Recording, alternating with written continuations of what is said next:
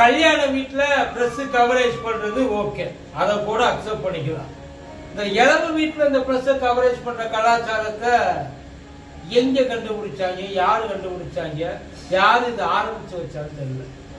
இந்த விஜய் ரமேஷோட சாவு இன்னைக்கு நேரில் சில பேர் போயிருக்காங்க அதில் பிஜே சுத்தமும் ஒரு அந்த ஆள் போயிட்டு அவரை பார்த்துட்டு எமோஷன் உண்மையிலே எமோஷன் ஆகிட்டு வர்றாப்புல. அதில் சந்தேகம்ல நடிக்கல கொள்ளல ஒண்ணும் பண்ணல. ஒரு ஃபீல் அந்த அளவுக்கு உள்ளுக்குள்ள இருந்துக்குள்ள க்ளோஸ் டு த ஹார்ட் இதுவரை எவ்வளவு பேரை ப்ராங்க் பண்ணியிருந்தாலும் அவரை ப்ராங்க் பண்ணது அவருக்கு அந்த டாப் ஆஃப் த பார்த்து முடிச்சுட்டு வெளியில வர்றாப்புல போறதுக்கு முன்னாடி கேட்டாங்களா இல்லை வந்தப்ப கேட்டாங்களான்னு தெரியல. அந்த கூட்டத்தில் ஒருத்தர் கேட்டிருக்கா கண்டென்ட் காலையில இருந்து கிடைக்கல.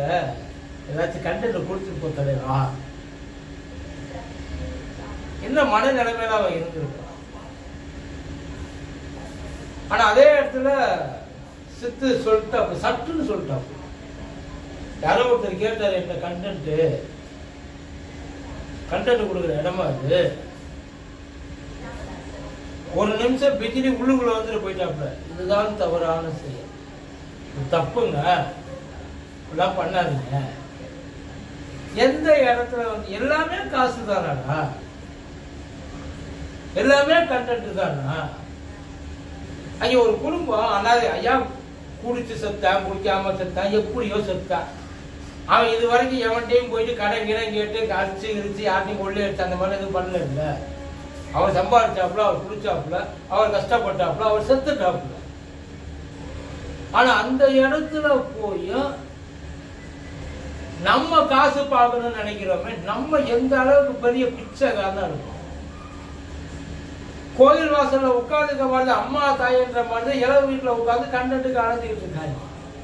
அங்க போறது அதுக்கு தானா அந்த குடும்பம் அந்த பையன் சின்ன பையன் அவன் என்ன படிச்சிருப்பா?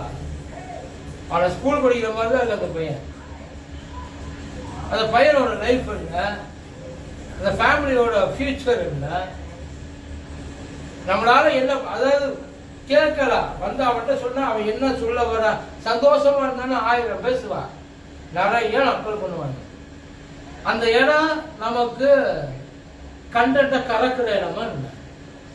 அந்த ஒரு இடம். அந்த பையனை கேட்டிருக்காங்க. பிஜேசிக்கு சித்தி இதுக்கு முன்னாடி இது பார்த்தாரா. தென்கொரியால இருந்து இது பார்த்தாரு. ஒரு பையன் அப்பாவை இழந்துட்டு நிக்கிறான் அவங்க அப்பா அவனுக்கு என்ன பண்ணாரு ஏது பண்ணாரு அவனுக்கு மட்டும்தான் தெரியும். அவனுக்கு அவன் அப்ப.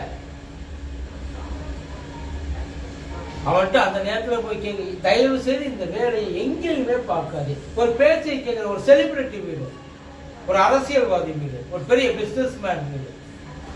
அங்க போய் உட்கார்ந்து இந்த மாதிரி யாருக்கிட்டையாவது கேட்கறதுக்கு தைரிய வாய் வருமா முதல்ல? அங்க வாய் வருமான்னு கேக்குது அங்க வராத வாய் இங்க மட்டும் வரும்ல. ஏன்னா செத்து போனவங்களுக்கு ஏன்டா அப்படி கேட்குறேன்னு கேட்கறதுக்கும் முடியாது. வாயில் அவங்களுக்கு கேட்கறதுக்கு ஆள் இல்ல. நல்ல வேலை சித்து அவங்களுக்குள்ள நின்று கேட்டாப்புல. அதான் சித்து கடந்து போயிருக்கலாம் ரொம்ப ஈஸியாக கடந்து போயிருக்கலாம் ஆனா கடந்து போ- அந்த இடத்துல அவருக்கு அது தப்புன்னு தோணுது.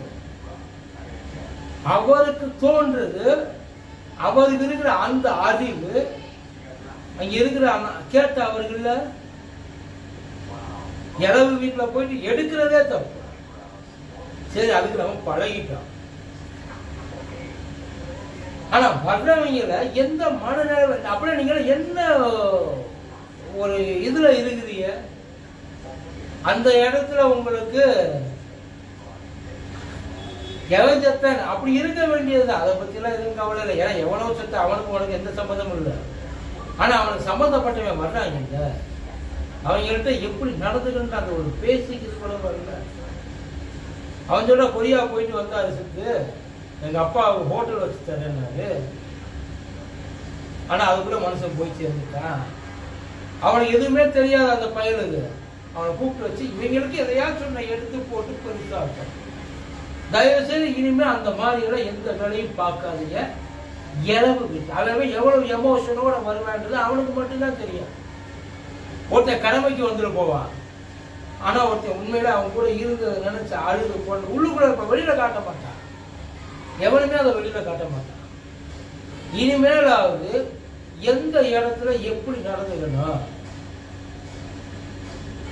அதை தெரிஞ்சு நடந்துக்கங்க. அது ரொம்ப நல்லது. இஷ்டத்துக்கு நம்ம என்ன வேணாலும் பண்ணலாம். யார்கிட்ட வேணாலும் என்ன வேணாலும் கேட்கலாம். ஆனா அந்த யார்கிட்ட வேணாலும் என்ன வேணாலும் கேட்கறன்றது அது அந்த இடத்துக்கு தகுந்த மாதிரி தான் மாறுது. இடத்துக்கு ஆளுக்கு தகுந்த மாதிரி. இந்த மாதிரி தயவு செய்து அலையாது. ஒரு சில இடங்கள்ல ஒரு சில விஷயம். ஒரு ஒன்பது மாசம் அந்த ஆள் எவ்வளவு கஷ்டம் நான் ஏற்கனவே சொல்லிட்டேன். அவன் சாப்பிட்டான் அவன் குடிச்சான் அவன் அனுபவிச்சான் அவன் நிறுத்தான் ஆனா அவன் எவ்வளவு வலி வேதனை அனுபவி இங்க இருந்தா உடம்பு சரியில்லாம இருக்கப்ப எவராச்சும் போய் பார்த்தோமா என்ன? பேட்டி எடுத்தோமா ஐயோ சாவு கிடக்குற உசுரை கொடுக்க போறாரு. உசுறு போக போது காப்பாத்துங்க ஏதாவது செய்யுங்க. சொன்னோமா இல்லை. செத்ததுக்கு அப்புறம் தான் நியூஸ் இல்லையா? நியூஸ் போடுறது தப்பு இல்லை நியூஸ் எடுக்கிறது தப்பு இல்லை. ஆனால் வியூஸுக்காக கருமை நம்ம என்ன வேணாலும் செய்யலாம்.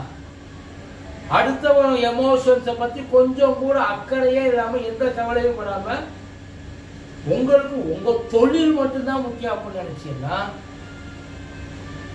நீங்கள் பார்க்குற தொழிலுக்கு பேருங்க. இனிமேலாக அது தப்பு பண்ண